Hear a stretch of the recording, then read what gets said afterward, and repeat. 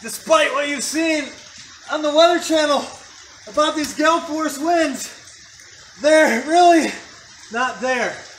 They're not strong enough to even blow me over when I try and walk on my hands.